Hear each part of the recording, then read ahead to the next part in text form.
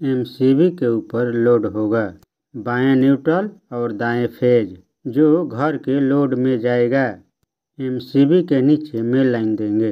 बाएँ न्यूट्रल और दाएँ फ़ेज़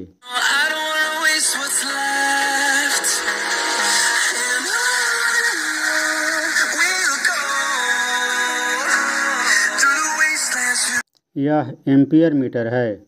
इसका कनेक्शन करेंगे।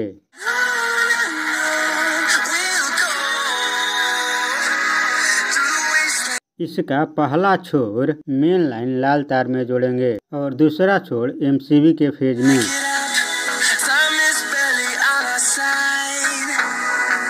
अब मेन लाइन देंगे शॉर्ट सर्किट पर एमसीबी गिरा.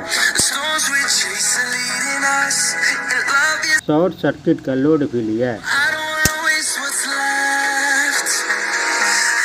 एम्पियर हटाकर इंडिकेटर का कनेक्शन करेंगे इंडिकेटर का कनेक्शन फ़ेज़ एनसीबी में होगा।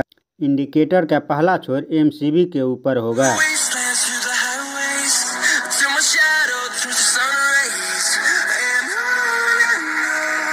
और दूसरा छोर एमसीबी के नीचे।